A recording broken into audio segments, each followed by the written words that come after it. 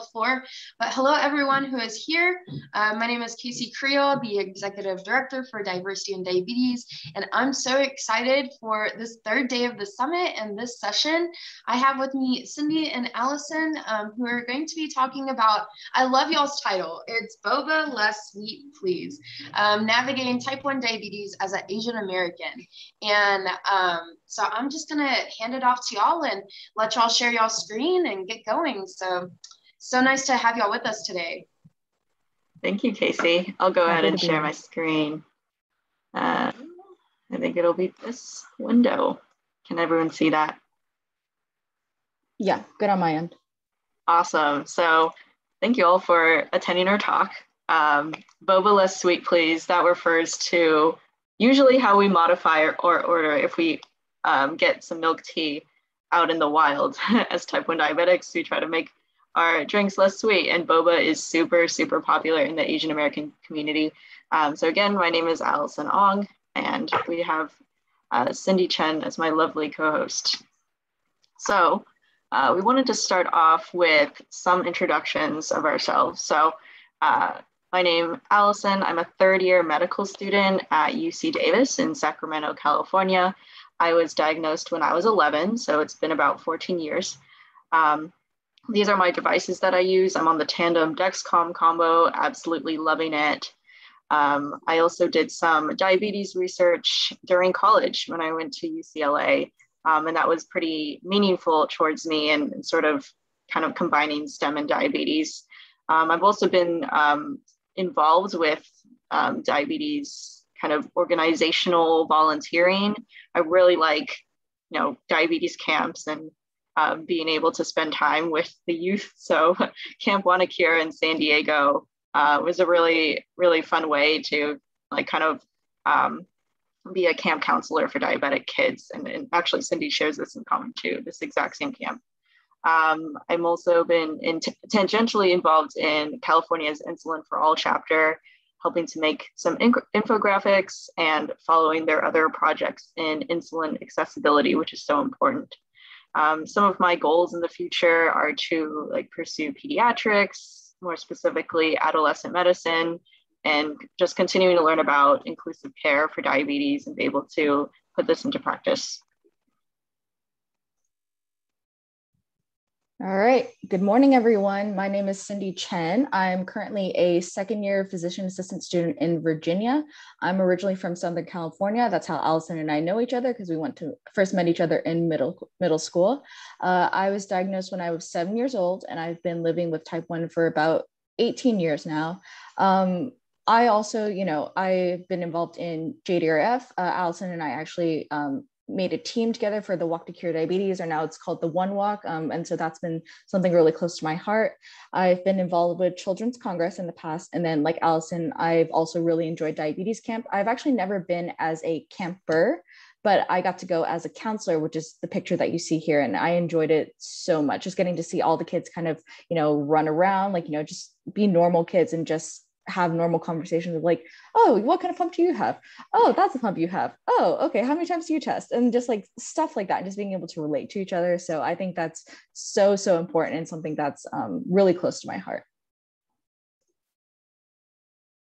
All right, so let's go into the outline. So um, this is basically what we're going to be talking about in this presentation. So Allison and I have both introduced ourselves. Uh, so let's get started with part one. So part one is diagnosis, childhood, and growing up as a diabetic.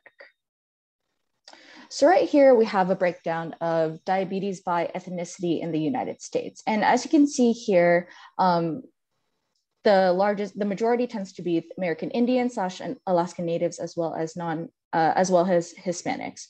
So Asian Americans are the second lowest group here. And so we do have it, but we do tend to find the minor, we do tend to fall in the minority when it does come to diabetes in the United States. Next slide. And again, with this chart here, you can kind of see us still following that trend. So in all of the columns, when you look at the race and ethnicity in the bottom, um, we are still following in, we are the lowest category. So it, with diagnosed diabetes, in terms of in the millions, we're the lowest at 1.6 million. This is from 2018. Uh, also, undiagnosed diabetes numbers, again, were still the lowest at 0.7, and total number of diabetes in the millions were again fall the lowest in 2.3 in the United States.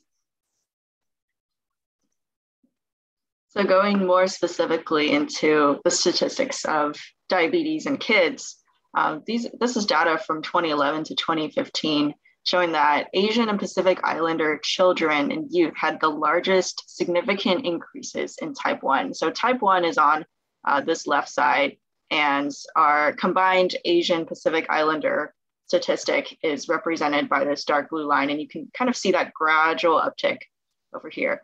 Um, and we, when we say incidence, we mean new diagnoses. Um, so what explains this? Asians are genetically like less likely to get type 1. Um, so there may be many factors contributing to these rates. Um, either way, it seems that cases of T1D have been increasing for our Asian and over here for our Black population. So we need more thoughts and more research on the why and how, and it'll be interesting to see these trends moving forward. Of course, more T1D diagnosis in childhood means more T1D adults, right? So um, it will fil- these changes will filter down. Also on this right side, um, the type 2 diabetes graph, I really appreciate when studies differentiate type 1 versus type 2, right? Because these are really two very different diseases. Um, I just wanted to point out here um, that among among children, the um, the rate of uh, diagnoses and of type 2 in white children has remained relatively stable Whereas for all our considered minority or minoritized groups, these rates have been rising. And there are a lot of, you know, the socioeconomic factors, um, health factors, intergenerational trauma factors that have contributed to this rise. So um, wanted to point this out. Um, some other in interesting facts about um, Asian American kids with diabetes. There's not, there's a whole not a lot of literature on this, um, but Asians have the highest rates of overweight and obesity in, in some of these um, areas studied. Okay, and some more statistics to throw at you. Uh, I thought this one was, um, the first bullet point was super, super interesting. Uh, around 50% of diabetes cases in Asian Americans are undiagnosed, which is higher than any other ethnic or racial group. And later in this talk, we'll talk about the barriers to um, achieving care for um, especially our Asian populations with language barriers and what other barriers that exist. Um, other things we found half of the Asian American adults in New York City have diabetes and prediabetes. That's a lot, that's one in two people. Um, and Asian Americans are 40% more likely to be diagnosed with diabetes than non Hispanic whites. Um, and some of the reasons behind this is that Asians have um, a higher uh, body fat percentage. So if you have a white person with a BMI of 27 and an Asian person with a BMI of 27, um, the Asian person genetically predisposed to have a higher uh, body fat, especially collecting around the abdomen, around the middle. And when you have abdominal fat like that, it increases your risk for type 2 diabetes, something called metabolic syndrome. So I thought that was super interesting that just due to our like body habitus, um, the Asian population can be at a higher risk of getting type 2. Um, also, smoking is super big in, in Asian countries. Back in China, I think one in three people uh, or one in three adults um, are smokers. And smoking is, is really affiliated with um, an inflammatory state and a whole bunch of chronic illnesses, including diabetes. Um, so I wanted to just sh share a few slides about growing up Asian and diabetic, and then I'll also hand Cindy the mic so she can input as well. Um, so for me, uh, we both grew up in Southern California. Um, wonder if anyone's been involved with JDRF Youth Ambassadors. Basically, you sign up and you're sort of involved as a volunteer for JDRF. You show up to these events. This is like the JDRF Gala, which is a big fundraiser in or in Orange County. Um, and there were other orgs we were involved with. Um, so these experiences are near and dear to my heart. But in many of these photos from my childhood, I could tell I was the only one of the only Asians in the room, usually. And it didn't really bother me when I was young, right? Like I was, you know, I made friends, it was great.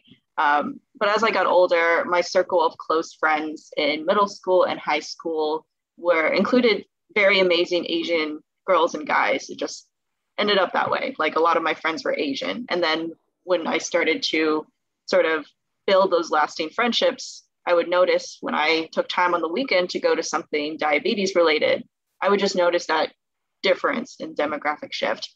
Um, I never had any racist comments or microaggressions that I remember um, were told to me. But you know, as I got older, as I got into my teenage years, um, I felt the difference there, especially if I went to camp. Um, sometimes I just realized, oh, like this thing that I can talk about with my Asian friends, something related to family dynamics or entertainment or food or culture. I couldn't easily, or I could bring it up, but I couldn't relate to others on, on these ways. So um, I might become aware that these topics, some of these other kids might not be familiar with. It just just happens when you're the minority. And this is a picture from camp.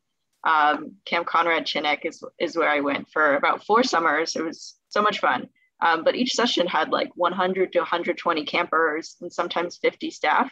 And the most diabetic, the most Asians I remember at one of these sessions was like three, like me and an Asian kid and then an, another half Asian camper. So um, again, like the statistics of, of Asians and diabetes would show themselves when I went to these events. Um, I did feel that these things, um, like being Asian in these spaces made me unique, but it was also, it could be like lonely to a degree if I considered you know, things that I couldn't relate to others about. Um, Cindy, any other additional um, thoughts about growing up?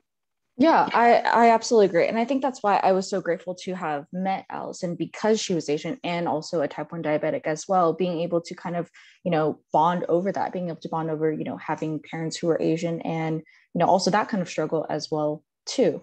And being the only minority in a room of other you know type 1 diabetic like volunteers kind of being like i don't feel like i'm at place here. Um, i know we all have the same disease but also at the same time though not being able to relate to them in terms of other struggles that contribute to the nature of our disease. So i absolutely related to what allison was saying.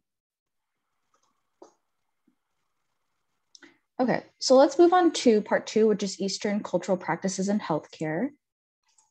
Yes, it's also my section. So did some fun little research on diabetes and Asian history. These are so many ways to say diabetes in other languages, which was amazing. So Chinese Tang Niao Bing. Uh, my family is Chinese Indonesian, so Kencing Manis is is our way of saying diabetes, and you can kind of see the similarities uh, between some of these these languages. Um, from our research, um, one of the earliest ways diabetes was described was in India, 1500 BCE. Um, people with diabetes, when they peed, their urine attracted ants. And so they uh, created this word, madhumeha, not sure if I'm saying it 100% correctly, um, which translates to honey urine. So patients with madhumeha exhibited um, extreme thirst, bad breath, which is what we know with, with DKA, and their pee attracted ants. um, by the fifth century, Ayurvedic physicians in India had determined there were at least two types of diabetes one which developed in the young, which turned into type 1, and one which was associated with obesity and occurred in adults. Um, and Chinese doctors were also noting around this time that people with diabetes tended to be wealthier, heavier, and were more likely to suffer infections. So um, that could be either type um, and so this text, The Yellow Emperor's Classic of Medicine, um, they named this condition and elaborated on its symptoms. And then we kind of zoom to the present day where we have um, this page I found, the Asian Association for the Study of Diabetes, and which lists the diabetes organizations in in many of these Asian countries. So we've come a long way from saying honey urine to coming up with type 1, type 2, LADA, MODY, et cetera, et cetera. So um, I um, thought these were kind of cool to share. All right, All right. So let's, let's talk about the challenges for Asian diabetics. Does this sound weird? No, you sound fine. Okay, all right. So yeah, let's talk about the challenges for Asian diabetics. So the first thing is food which is something I love so, so, so much. Um, it's hard because when we look at like Carb King or a lot of carb counting like websites and sources, they're not really targeted to Eastern culture and Eastern foods that um, Asians typically eat. It's very Eurocentric in terms of dietary recommendations. I know, like when I would see my nutritionist or um, like in my endocrinology uh, clinic, like they would give recommendations, but none of them were related to what I ate. Like, you know, they didn't understand what I was talking about. Um, for example, I, at least in my uh, Chinese culture, I know the Harvest Moon Festival had happened recently. Actually, my mom had sent over um, some moon cakes. And if the box that it had come in didn't happen to have nutrition facts, I'd have no idea how to give it. Um, so I know, at least for me, growing up in an Asian culture, growing up with eating a lot of Asian foods because my parents are immigrants and they cooked a lot of Asian foods, we couldn't really rely on Carb King. It was a lot of growing up and doing a lot of trial and error, being like, oh, okay, if I give this much insulin for, you know, rice and other Asian foods that I'm eating, uh, and I end up having a high blood sugar, okay, then we're going to adjust ne- next time. You can see right here, there's a picture of dim sum, which I love so, so much. I can tell you it's going to be really, really hard to find the exact carb carbohydrate count for each of these dishes in dim sum, but it's a lot of trial and out and error. I can tell you, Allison and I have both gotten dim sum, and it's kind of a struggle bus sometimes because there's some really, really good foods here um, that we kind of have to just figure out on our own and do like kind of guessing and checking essentially. Um, but it's a lot of it's um, it's a struggle, but it's something that we have um, kind of learned along the way and learned to kind of adapt. So this is a challenge, but I'd like to think we have kind of risen to it a little bit more um, as time has kind of gone on. Next slide. Oh, sorry, Allison.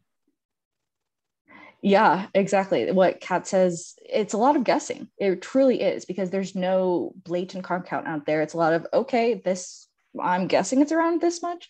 Um, I can tell you as I've lived with type 1 longer and longer, um, I, I can now like look at something and be like, okay, I'm going to give this much insulin. Like, and people will ask, how do you know? I was like, I just know and that i feel like that just comes with the experience uh, so let's play a little game right here so let's gonna get let's guess how many carbs each of these is. So first let's guess how much this roti is. You can type in the chat you can say it out loud. Guess how many carbs the roti is.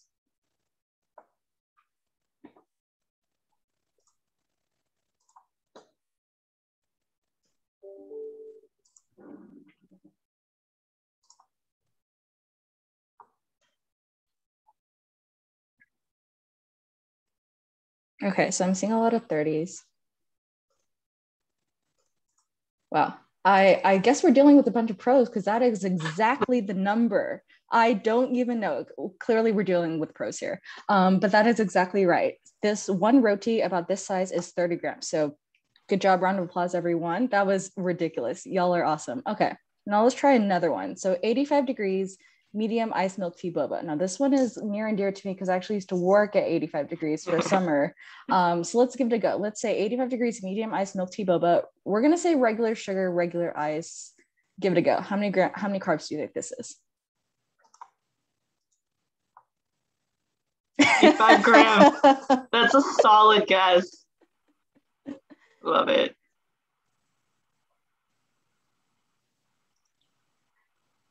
Okay, so I'm seeing 60, 70, 85 appropriate.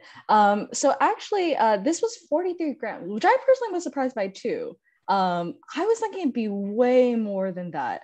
Um, but apparently it's 43 grams. So, you know, I, I suddenly don't feel as bad, you know, getting a medium ice milk tea boba, regular sugar, regular ice. of course, if right. you add all the syrups, if you get like a taro shake or something, like those go like super high. Yeah.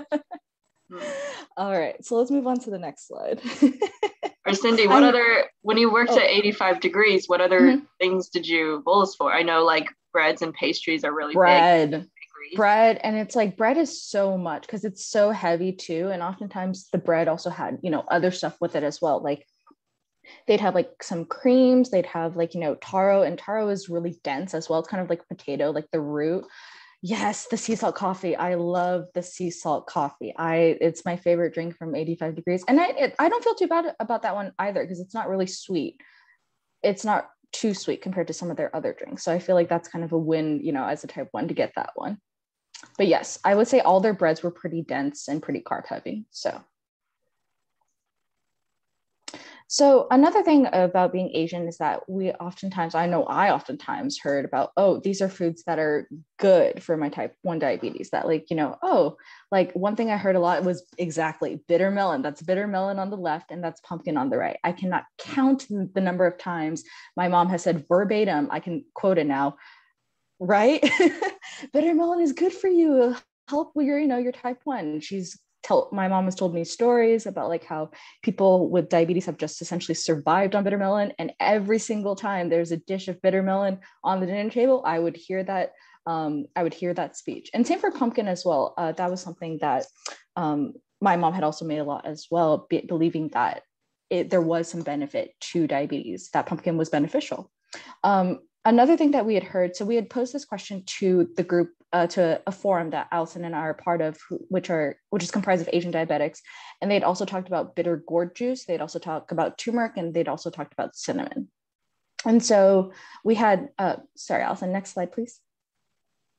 So we had posed the question, okay, what, um, like, you know, in terms of food challenges as the Asian diabetic, what's been a challenge for you? And this person had said, having to reduce the amount of rice slash noodles I eat and adjusting uh, this person's fruit content away from the tro- tropical fruits I grew up eating. So, you know, that's no- another struggle, right? That you're so used in your culture, all these things are ingrained into, and food is such a big part of culture, and having that part of culture kind of taken away or at least diminished because of their diabetes, um, you know, is absolutely a challenge. Uh, next slide, Allison and so I found this, I found this a little bit funny. So um, a lot of Asian moms use something called WeChat. And so especially during quarantine, and I can also say my mom has used this for a long time, that uh, it almost feels like she has a degree from WeChat University, basically that she, you know, she knows all about medicine, she knows what's right for my diabetes and I guess all other stuff. So I found that a little bit funny. All right, next slide, Allison. Yeah, on that note, like my uh, my grandparents use WhatsApp which is a different app for communicating over overseas as well. But yeah, I've gotten like chain emails of like this is the way you cure diabetes. I've had I've met people like family friends who would sometimes like come up to me with a printout of an article from the internet saying like, hey, look, um, bitter it was bitter melon, I think. Here are the benefits of bitter melon diabetes. And I was like, cool. Um, moving on, you know. I mean, I'm not not we'll talk about it later. I'm not knocking like like Eastern herbal remedies or medicines, but it's just kind of funny um, how people like Asian um, like adults, elders especially, love to share this info and just it just think it's like the one and only magic pill. All right, so we're going to move on to part three, which is talking about Eastern cultural values and diabetes identity.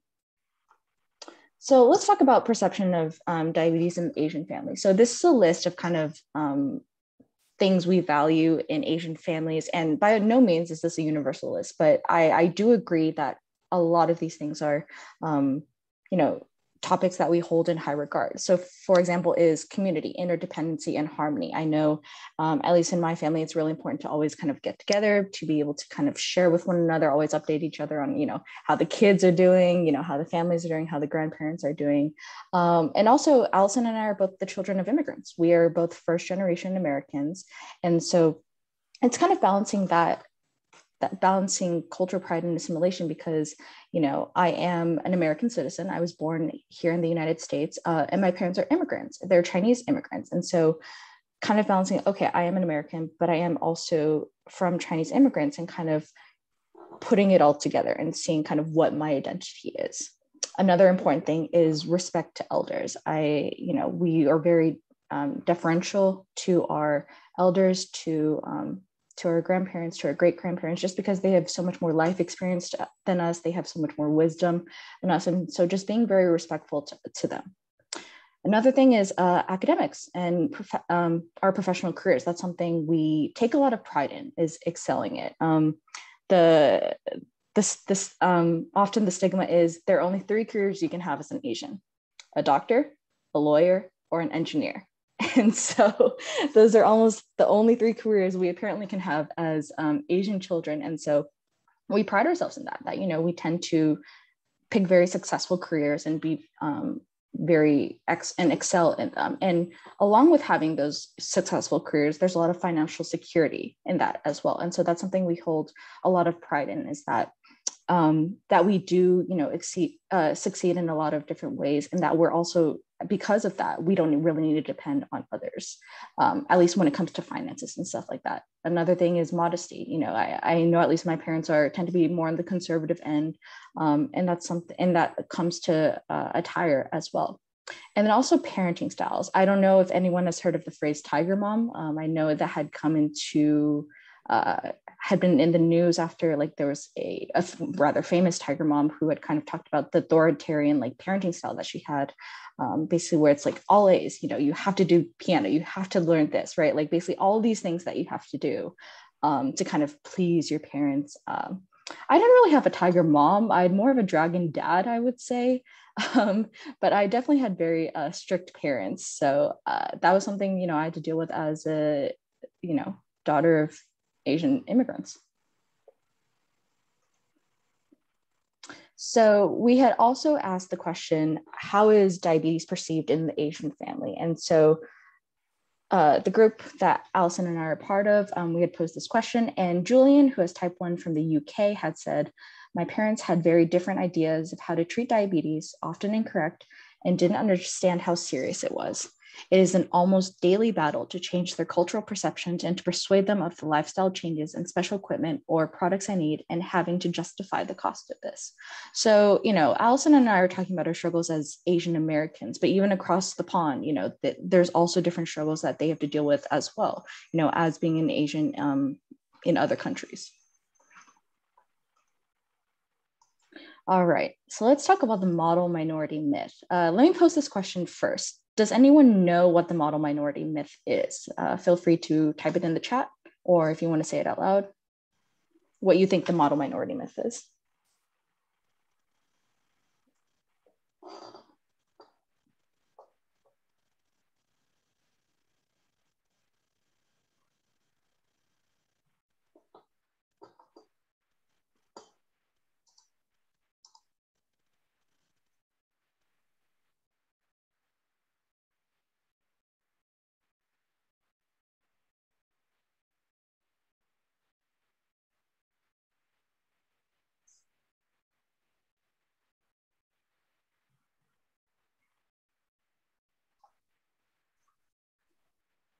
Okay, so seeing a few chats.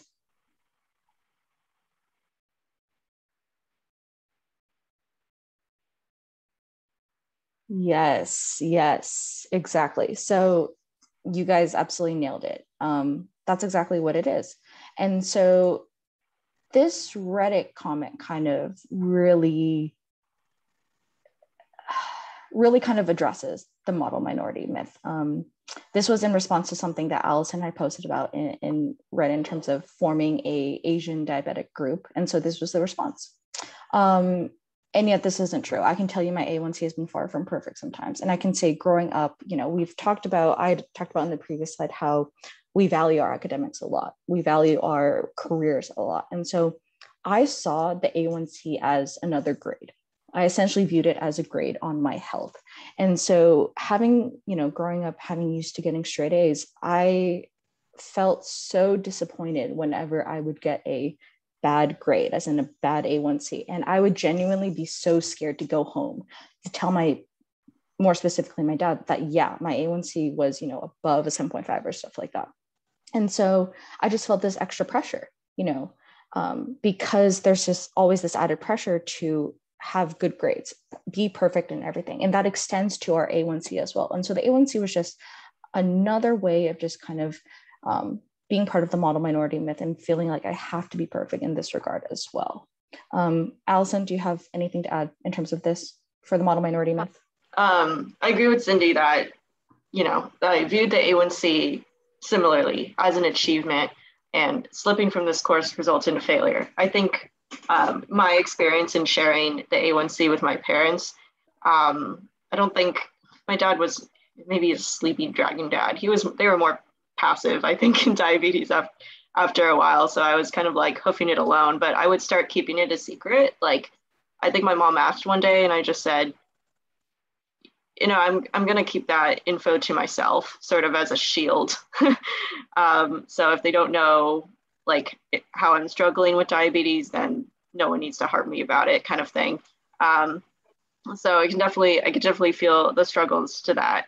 Um, I also want to bring out we're additionally healthcare students, and so that opens up that whole worm, the can of worms about, you know, we're learning to take care of different health conditions, including type one potentially. um, versus struggling with our own type 1 and you know that's like a talk for another day but that also you know brings up a unique challenge for for both of us as well. Um, and being asian just having the model minority myth dangled over me it just becomes an expectation that diabetes is controlled that i'm that i'm good at it. And if i'm feeling vulnerable or if i've failed or if i've been like over 300 for 12 hours or something you know i feel incompetent. I don't feel like sharing it with others um, sometimes because i feel like it would you know damage my image or it would make me feel bad or something. So um, again some very complex webs here but i, I definitely think um, uh, that this is relevant. And my and my grandparents too will sometimes ask me like how's diabetes going? Well i'm not going to tell them like the day to day like what i've been doing with it but you know so there's that expectation to live up to. Okay so uh, another challenge to Asian diabetics uh, that we thought was important is the stigmatization of mental health issues.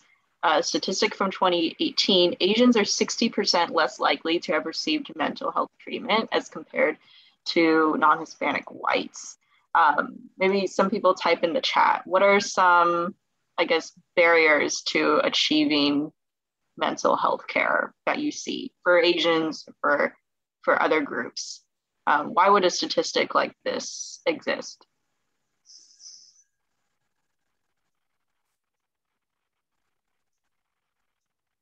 Yeah, Quisha, stigma, seen as weak. It's one of the number one things on the list. Yeah. Kat says being told mental health is either a really bad thing for your image or that it's not real. Yeah, being told it's not real. That's something we'll get into. Yeah, Crystal says, agrees, reputation is big. Um, so this is a, uh, Oquisha said, can cause shame on family. Yeah. This is a roadmap from the Asian Mental Health Collective, which is this amazing website I found that talks specifically about Asian mental health. And this is the roadmap of barriers um, to to mental health care. So stigma, the taboo of discussing mental health. Witness this in my own family, and I'll have Cindy weigh in at, at the end too. Um, admitting that something is wrong is is big, especially if it has to do with your head, right? You know, and parents, elders, other people, even cousins, just might not know how to navigate that. It's not their fault. It's not anyone's fault. It's just it's hard to talk about mental health from a baseline but if an entire culture kind of values, you know, modesty and, you know, harmony, idealism, perfection, it just becomes hard to say, I've been feeling sad, you know, I've been struggling with these things. It's it's hard to bring up, and you don't want to be seen um, as weak or in need of help. You feel that pressure to deny or neglect symptoms when you're asked about them. And we, uh, part of this reason I think at least in Chinese culture, there's that belief um, that we want to shield loved ones from our struggles sometimes, and I think that's a, can be a universal thought. We don't want others to worry or go out of their way for us. We want to remain um, like independent if we can, and and not have others be bogged down by our problems. I think these are some of the major thoughts behind this. Um, two, intergenerational trauma. Um, this um, is just caused this to me like means different things. Um, and it's the idea um, that trauma experienced by one generation is transmitted down to the following generations. Um, there's a study that the children of Vietnamese refugees felt a burden to compensate for their parents' struggles, um, and that rates of PTSD in their parents would predict rates of PTSD in them. Um, it also means to me there's the distrust between an Asian Asian individual and the Western systems, um, stemming from everything from discrimination to just hate crimes or um, uh, discrimination, hate crimes, and uh, oh, there is one more. Um, but um, these offenses can cause lasting effects on, on one's life and contribute to trauma being passed down and also lead to distrust of Western healthcare, Western systems. Um, the model minority myth we just talked about, um, having our symptoms dismissed as not real or being seen by um, the rest of the system as like Asians are not in need of mental health. Like they don't need their own funds, they don't need their own orgs, right? Like we do need support, just like every other every other group out there. Um, acculturation or pressure to succeed, we talked about acculturation differences. Um, so going back to those Asian family values, um, if we're taught to prioritize academic, professional, and familial obligations, those might come first ahead of like the mental health struggle. Um, the thought that mental health is not important or not real, the language barriers, which we'll talk about, especially with our older people who might have type 2, um, not being able to access um, material in about diabetes in their language is a big one, and then poverty. Um, there's also a scarcity of workforce that can relate to both our identities. I saw this article the other day. It was like this woman who was born in 1952 in Vietnam becoming like the first clinical psychologist in the US or the first Vietnamese psychologist in the US. And I'm like, that must have been like the 70s. I don't know. That's not not too long ago. Um, but this is a list of great organizations online that do the work in in in sharing resources specifically to Asians um, and also uh, ways to search for ones in your region and the background behind them. So I um, thought these were great to look at. Um, Cindy, anything you want to add on? Oops, I'm going backwards. Anything you want to add on this section? No, and I I completely agree with what you're saying because I think it's important to have that conversation in the first place. There is such a stigma placed on mental health in the Asian community. It's seen as a sign of weakness. And I know Asians also tend to be very private. Um, and so it's almost as if okay if there's a problem one keep it in the house keep it in the family in the first place. Like you know don't bring it outside of the house. I know um, in my psychology class like we had talked about that. We had talked about how asians are one of the few or one of the lowest percentages to go seek uh, mental health in the first place because there is such a cultural emphasis placed on being strong keeping in the family being private and not sharing those kind of struggles you know with the outside world. And so i think it's important to have that dialogue. It's important to have that conversation and say it, it's okay you know to have these sh- struggles. They aren't unique to any ethnicity. They aren't unique to any disease you know. Burnout is something i know i've struggled with personally you know having lived with type 1 for 18 years now. Um, there's been moments where i felt like i you know really wanted to give up in a sense. Um, and yet i i take it very seriously and i've been very fortunate to you know speak to counselors at school also have friends you know just have a very supportive community for me to reach out and kind of share those struggles. So um, i think this infographic is great. I think it's also important to have those resources as well. So completely agree with everything you said allison. All right so let's talk about advocating for asian diabetics. So this is from 2013. This is the JDRF Children's Congress. This is in the Capitol Hill building uh, in, in DC. And so there were about 160 delegates from across the country, plus a few um, international delegate, uh, delegates as well. And it was both such a fun but also very interesting time. I was 17 years old at the time, so I was about to enter senior year of high school, and I would say I was one of three Asians out of this 160 something delegates. And this is meant to represent the entire United States. And there are only two other people that look like me. That we're talking three out of 160, that's less than 2% right there. And so, you know, this is meant to reflect the United States. And yet I didn't feel very represented. Um, and so this is a struggle that and allison had talked uh, touched on this prior as well where i felt oftentimes i was like the only one in the room who looked like myself. And so yes we were all there because you know we have type 1 we were representing you know the united states and representing our different states as well. And yet at the same time i felt like this wasn't a true representation. Um, if you move on to the next slide. So this is the um, the group or the chapter that allison and i have volunteered at before. And as you can see here, there is no one that looks like me or Allison in this staff. Um, so it's been, it's hard, you know, they obviously do a great job, you know, representing us, but at the same time, we can't really talk to them about the struggles that we have. We don't, you know, really feel represented in terms of the leadership of our chapter. Next slide. Now, moving on to another organization, the American Diabetes Association. So, you know, there's been a better effort made in terms of trying to diversify the leadership here. But once again, there aren't any Asians on the staff. And so we want a seat at the table. We want to feel represented by the leadership of the organizations, by the leadership of the organizations that are meant to represent us. So Um, so some of the needs we see for inclusive care, um, kind of overlapping with mental health care.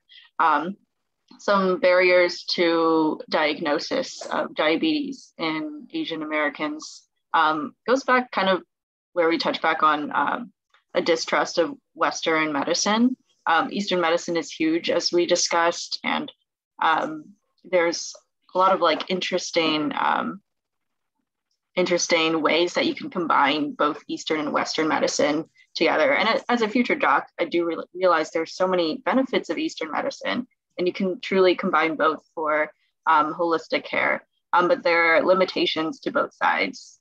Um, Eastern medicine cannot monitor urine microalbumin, or Eastern medicine cannot give you manufactured insulin or metformin, for example. So that huge rate of undiagnosed diabetes could be due to the fact that um, a lot of our you know type 2 diabetic elders or adults like go to their um, eastern medicine practitioners first for example. So um, that could be reason for that statistic.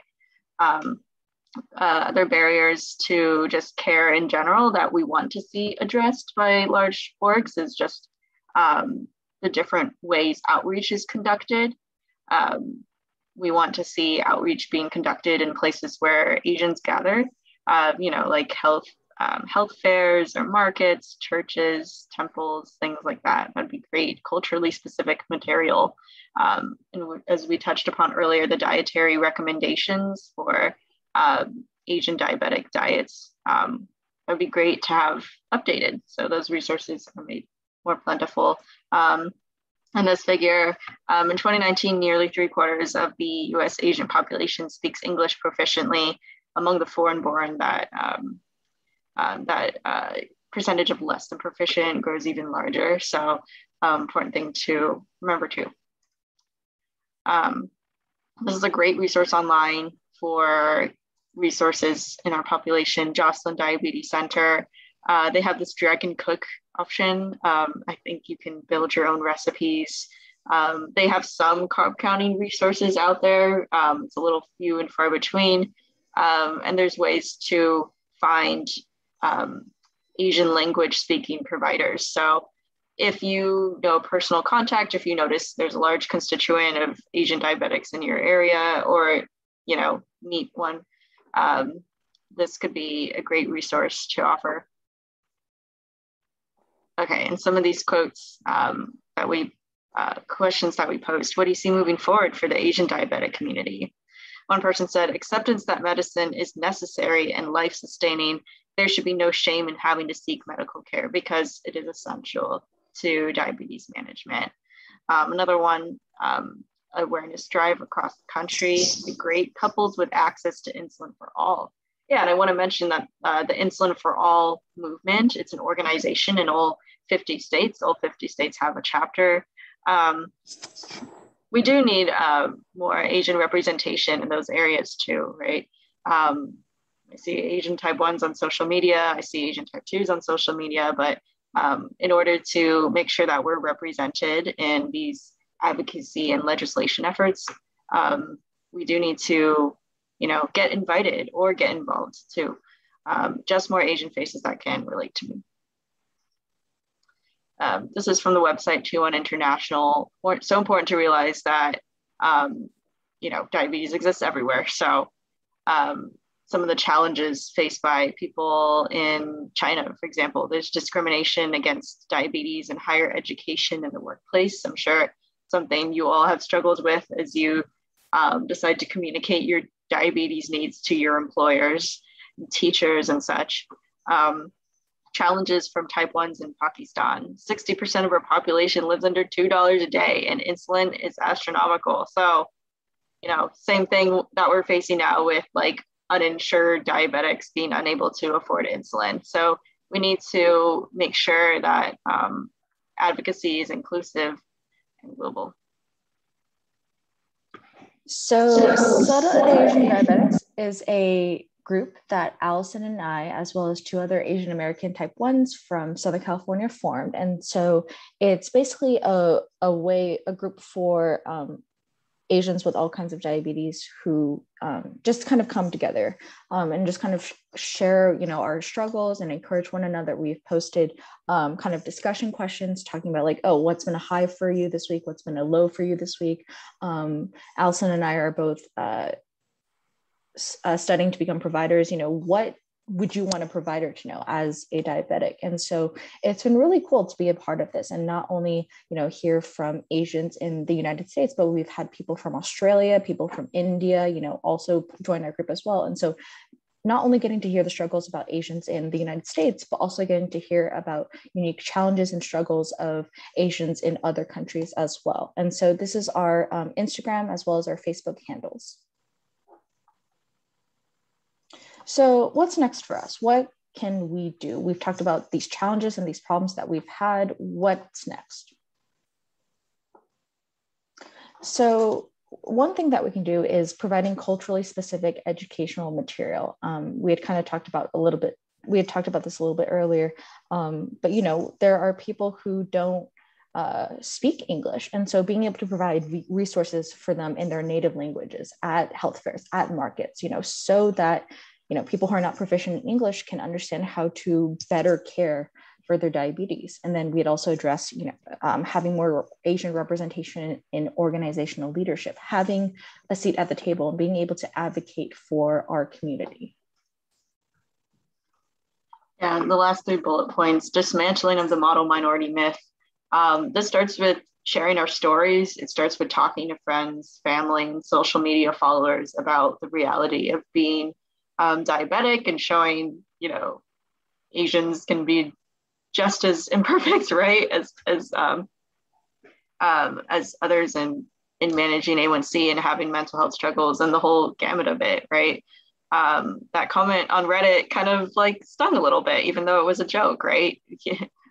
um, and mental health care access for Asians with chronic illness, we talked about that's so important and grow in community spaces. Um, we've seen some grassroots um, communities pop up for the LGBT diabetic community, the Black diabetic community. And so now we want to grow this Asian diabetic community for anyone who wants to join.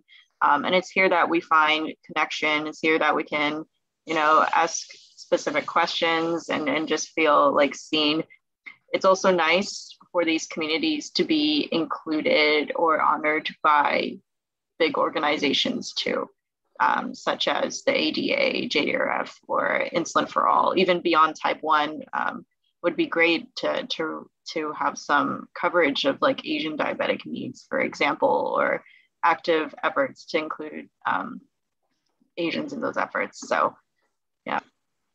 Um, so that's kind of like the um, kind of wrap up to our presentation and what we had to share. Uh, we did want to open the floor to any of your thoughts, any of your questions, um, and reactions to what you've seen. So uh, if you have anything to share, feel free to, to type in the chat. We're really open to any questions you have.